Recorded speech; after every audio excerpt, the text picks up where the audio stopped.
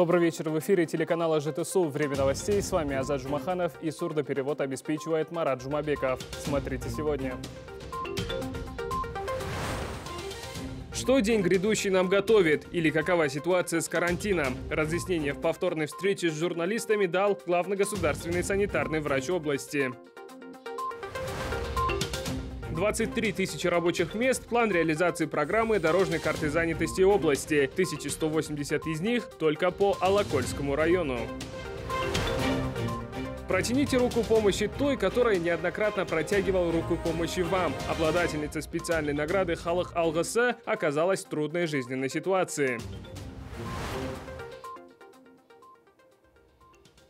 Главный санитарный врач области Кайрат Баймухамбетов сегодня провел повторную пресс-конференцию с журналистами и блогерами. Санитарные посты между населенными пунктами и районами устанавливаться не будут. Однако карантины и меры в регионе все же усилят, заявил он. В летний период под особым вниманием будут находиться туристические зоны ЖТСО. Но на некоторых пляжах запрет для посетителей все же будет. Что, где и когда, узнал Анвар Мангельдинов.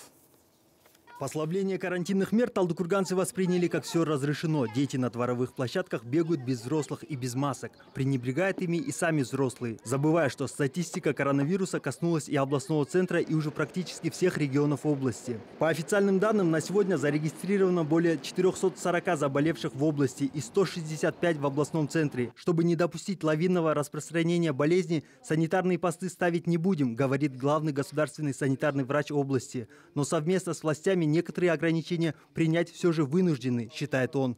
Будет изменен режим работы ряда объектов. Ограничение идет э, в режиме работы. То есть с чем это связано? Это связано с тем, чтобы не было большого скопления людей в течение целого дня. То есть э, продовольствие, непродовольственные рынки мы ограничили э, до 15.00. Объект, объекты непродовольственной торговли, то есть торговые дома, различные объекты по реализации бытовой техники, Э, домаш, домашних, э, домашних товаров ограничили с 10 до 17.00. Ограничение произошло в э, центрах обслуживания населения, то есть с 10 до 17.00. Казпочта, которая оказывает очень много услуг, с 10 до 17.00. Работа кафе и ресторанов у нас тоже ограничено до 23.00. Не будет в ближайшее время ни туров выходного дня, ни многодневного пребывания на песчаных пляжах Капшигая. В городе также внедряет ряд ограничений. Посещение Капшигайского водохранилища под запретом. Следить за тем, чтобы граждане воздержались от соблазна нарушить запрет, по всему периметру будут дежурить мобильные посты. А вот речи о запрещении посещения озер Алаколь и Балхаш пока не идет. Однако в тех местах тоже ужесточат нормы санитарного контроля. Сегодня формируется в области бригада мобильной группы, состоящая из специалистов санэпидслужбы и управления туризма. Выезжает туда, в течение недели будет работать там, то есть обучить э, субъекта бизнеса, базу отдыха новому формату работы. Справки на COVID-19 требовать не будем. Долго обсуждали этот вопрос на межведомственной комиссии. Это на большие как бы, расходы на э, отдыхающим. В связи с этим мы будем требовать правила, где будут встречать на ресепшене, пунктах досмотра, значит, э, тепловизоры, э, дистанционный режим, анкетирование, размещение э, отдыхающих, допустим, отдыхающие с разных регионов не должны в одном, одной комнате располагаться. Да, члены семьи могут, значит, не больше двух-трех человек должны размещаться. На сегодняшний день в Алматинской области на разрешение работы подали заявки более 200 баз отдыха. Их готовность к предстоящему сезону рассмотрит специальная комиссия. Ануар Амангельдинов, Бигзат Кажмуканов, телеканал «Житсу». Более 53 проектов реализует в текущем году в Волокольском районе в рамках дорожной карты занятости. Будет осуществлен капитальный ремонт сельских школ, домов культуры и внутренних дорог. На осуществление этих целей выделено более 4,5 миллиардов тенге.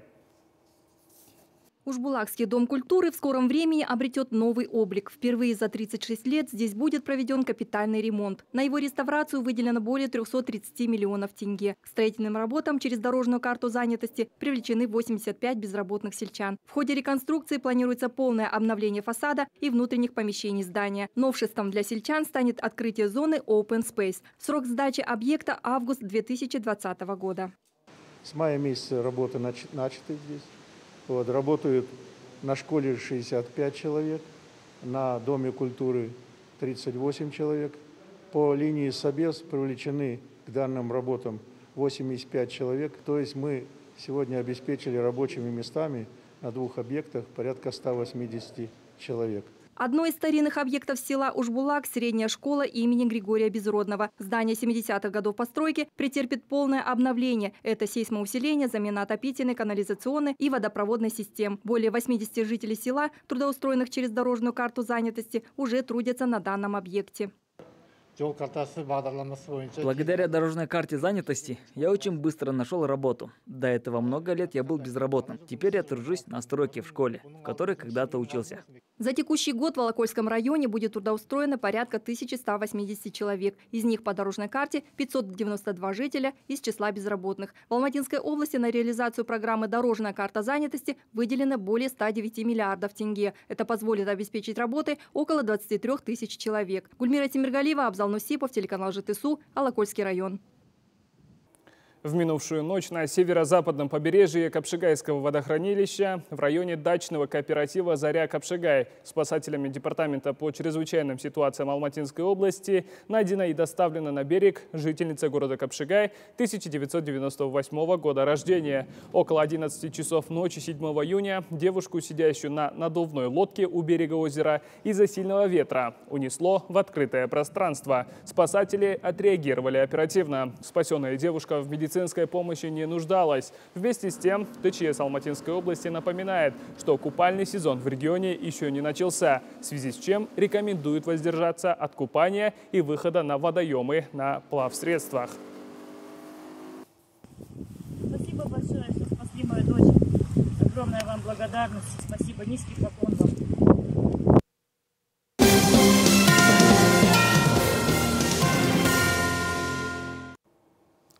Большой синокос. Крестьяне Жамбылского района заготавливают на зиму самые питательные корма. В регионе идет укос люцерны. Ею весной было засеяно более 40 тысяч гектаров. Молочно-товарная ферма «Табос» содержит 1150 голов высокопродуктивного крупнорогатого скота. В условиях современной конкурентоспособности его прибыли напрямую зависят от качества поставляемого на переработку молока. Соответственно, корма должны быть питательные и экологически чистые. На зимний период хозяйству требуется 5000 рулонов сена, 11 тысяч тонн сенажа и силоса. В распоряжении хозяйства 400 гектаров полей, засеянных люцерной. Недостатка влаги весной не было. Рады аграрии, благодаря чему и плотность и рост растения позволяет заготовить хороший объем.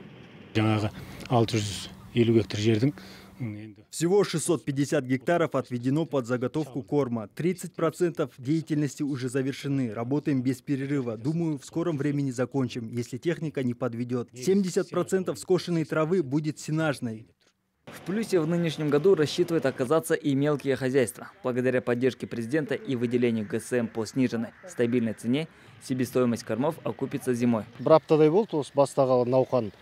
Уже неделя прошла, как приступили к синокосу. С гектара 200 тюков заготавливаются. Этого хватит не только свое хозяйство обеспечить, но и продать остатки. Если все будет идти по графику, то завершим к концу следующей недели. Цена одного спрессованного тюка сена в среднем 550 тенге. Стоимость невысокая. Но сейчас, во время кризиса, крестьяне стараются сами заготавливать корм на зиму. В районе насчитывается порядка 89 тысяч голов скота. Потому только под кормовые культуры отведено свыше 42,5 тысяч гектаров.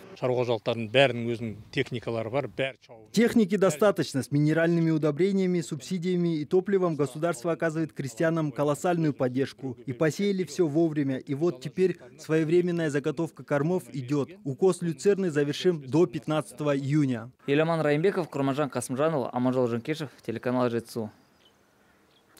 К новостям республики. На частые перебои подачи питьевой воды жалуются жители поселка Жибек-Жола. Населенный пункт расположен буквально буквально на въезде в столицу, но его жители до сих пор не знают, что такое нормальное водоснабжение, сообщает корреспондент Хабар. А в некоторых микрорайонах и вовсе трубы даже не подключены к домам. Питьевую воду ежедневно приходится покупать в магазинах, а это очень дорого. В старой части поселка, как ее сами называют жители, дела обстоят немного лучше. Вода есть. Правда, напора почти нет. Да и отключают ее, по словам людей, с 12 дня до 9 вечера. Местные власти пока никак не прокомментировали ситуацию. Плавающего в нефтяных отходах лебедя засняли на видео в Магистау. Очевидцы сообщают, что птицу сняли в районе месторождения Северные Бузачи. На место выехали сотрудники Магистауской областной территориальной инспекции лесного хозяйства и животного мира. Специалисты проведут расследование и сообщат о результатах. По словам очевидцев, 7 июня на этом же озере плавали три лебедя. А тем временем полиция Атраусской области задержала экстремиста за сбыт наркотиков. Помимо сбыта наркотиков, ему инкриминируется пропаганда терроризма. В ходе проведенных обысков у задержанного были изъяты синтетические наркотики, запрещенная религиозная литература и компоненты для изготовления самодельных взрывных устройств. В настоящее время начато досудебное расследование по статьям 297, 256 и 174 Уголовного кодекса Республики Казахстан. Вновь к новостям области. 27 театров страны покажут пьесу о казахском батыре Бурибае. Об этом сообщил автор пьесы Айден Респекуле, приехавший в Алматинскую область специально для переговоров о постановке спектакля в нашем театре. По мнению историка, полководец, руководящий в казахско-джунгарских войнах ополчением рода Матай, является уроженцем Аксусского района. И показ спектакля в нашем регионе в преддверии 90-летия данного района будет очень кстати. Отметим буквально две недели, как возобновилась работ... возобновились работы по строительству памятника Батыру в Аксусском районе. Для этих целей из областного бюджета в прошлом году было выделено 52 миллиона тенге. Еще около 40 миллионов собрали жители населенного пункта для увековечения имени своего славного предка. Открытие планируют приурочить к юбилею региона. мен бөрбай атамызды зерттеп жүргеніме 20 жыл болды уже 23 года, как я изучаю жизнь Борибай Батыра. И в моей полнометражной пьесе, состоящей из двух актов, рассказывается о нем от рождения до смерти. Как говорил Ельбаса, ничего не нужно сочинять о казахском народе. Нужно просто рассказывать о нем. И мой спектакль будет наглядным примером. Подрастающее поколение должно знать своих героев. Поддержим молодых педагогов. В Талдыкургане подвели итоги областного конкурса «Хочу стать учителем». Участие в нем приняли более сотни выпускников из всех городов и районов ЖТСО. Однако финальную стадию прошли 28 конкурсантов. Состязание инициировано региональным профсоюзом работников образования и науки. Основная цель – повышение престижа профессии и статуса педагога среди молодежи, создание конкурентоспособной среды в сфере образования. По итогам победительницей стала Аяулы Артем Шабден из Коксусского района. В этом году и предстоит продолжить свое образование уже в ВУЗе. А при поступлении в ЖИГУ имени Ильяса Жансугурова на педагогическую специальность девушка гарантированно будет получать стипендию, даже если не сможет получить грант и будет учиться на платном отделении. Очень рада, что победила в конкурсе «Хочу стать учителем». Радости нет предела. Я с детства мечтала учить детей. Думаю, в скором времени достигну своей цели. Хочу выразить благодарность организаторам и соперникам. Состязания прошли на высшем уровне. По ту сторону добра. Обладательница специальной награды «Халық алғысы», координатор волонтерского движения «Лидер КИЗ» более трех лет, оказывающая бескорыстную помощь всем нуждающимся, сама оказалась в трудной жизненной ситуации и нуждается в поддержке. В 2013 году, после первой операции на щитовидной железе, тогда еще 33-летней Екатерине Серединой, врачи поставили страшный диагноз – рак. Это было громом среди ясного неба. Но матери непозволительно опускать руки. Она не отчаивалась. Продолжала работать, воспитывать двух несовершеннолетних детей, старалась быть сильной. Но в 2016 году здоровье ухудшилось, и ей сделали вторую операцию. Прогнозы врачей э, если судить, вот э, когда мы ездили в институт онкологии, нам сказали, мы не можем дать вам стопроцентной гарантии, что э, вот после операции, допустим, все, ничего не будет, вылечится все. Потому что это, говорит, такая болезнь, что неизвестно, как она себя поведет. А болезнь оказалась неумолимой. Приступы сильных головных болей, внезапные головокружения. Это, как выяснилось позднее, отмирают сосуды головного мозга. Дальнейшие врачебные обследования показывали отсутствие раковых метастаз, но одолевали сопутствующие заболевания – гемангиома и кисты на позвоночнике, парез правой голосовой связки. Мы ездили в Алмата, вот когда прошлый год мы это обследование проходили, мы заходили к эндокринологу. Она нам сказала, что должны были меня отправить на радиоактивный йод. Но мы этого даже не знали, нам никто не говорил. У нас в Казахстане этого лечения радиоактивного йода нет. Поэтому только вот за границей получается. 40-летняя уштубинка Екатерина Середина вот уже более трех лет является активным членом общеказахстанского объединения волонтеров «Лидер КИЗ». За это время она вместе с другими участниками движения оказала помощь многим сотням своих соотечественников, разнося по домам нуждающихся бесплатные продуктовые наборы, лекарства, а за период ЧП – дезинфекционные средства и маски. В свое время Екатерина неоднократно принимала бескорыстное участие в поисках потерявшихся детей. Катя сама также активно участвует она во всяких благотворительных акциях.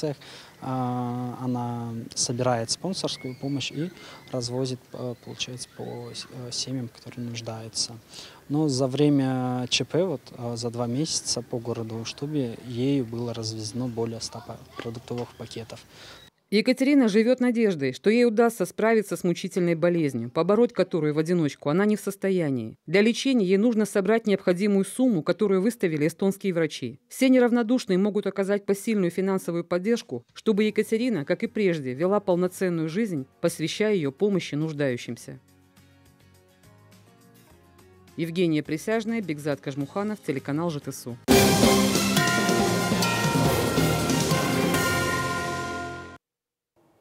В Европе не прекращаются акции протеста против расовой дискриминации и полицейского произвола. Тысячи людей собрались на пьяцца Дель Попола в Риме. В какой-то момент в знак солидарности с жертвами расизма манифестанты преклонили колены. В Барселоне, несмотря на дождливую погоду, на улицы вышли около двух тысяч человек. Они держали в руках плакаты с надписями «Расизм убивает», «Жизни черных важны». В Мадриде манифестанты подошли к зданию американского посольства, расположенного в центре столицы. Участники акции выкрикивали лозунги на испанском и английском языках. «Мы не можем дышать, мы требуем правосудия». Массовый протест устроили жители Копенгагена. Они прошли маршем от посольства США и остановились на митинг у парламента Дании. Демонстрации также состоялись в Брюсселе, Лондоне, Будапеште и других европейских городах.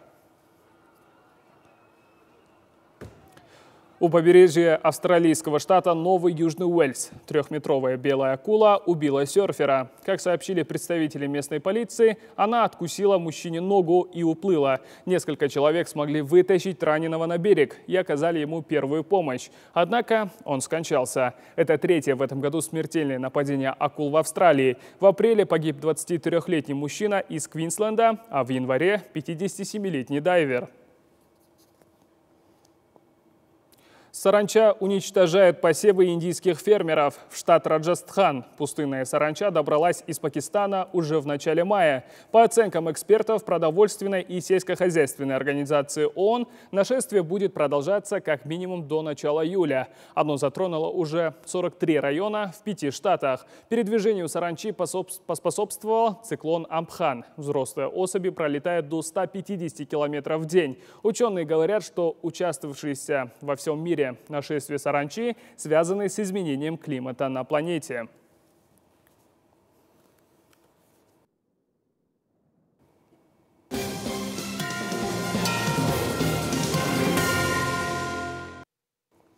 Трибуны для зрителей пусты. Вход на спортплощадку запрещен и родителям молодых игроков. Но стадион не пустует. Футбольная команда юниоров Алматинской области готовится к чемпионату Казахстана.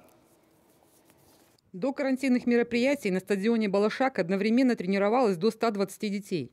Теперь из-за усиления мер безопасности количество молодых игроков уменьшилось на 80%. Юные спортсмены перед выходом на стадион проходят медицинский осмотр, а во время тренировок соблюдают дистанцию. Несмотря на все ограничения, юниоры совершенствуются в спортивном мастерстве для участия в национальном чемпионате, запланированном на осень. На сегодняшний день нам разрешено заниматься в количестве до 30 человек. Этому мы исследуем. А ребята тренируются, потому что им необходимо поддерживать физическую форму. Тимирлану Манапову в этом году исполняется 13 лет, шесть из которых он посвятил футболу. За это время он принимал участие в соревнованиях различного уровня. Сейчас он является игроком молодежной сборной Алматинской области. Я правый защитник, играю в основном на флангах. Когда вырасту, мечтаю стать игроком футбольного клуба ЖТСУ или Астаны.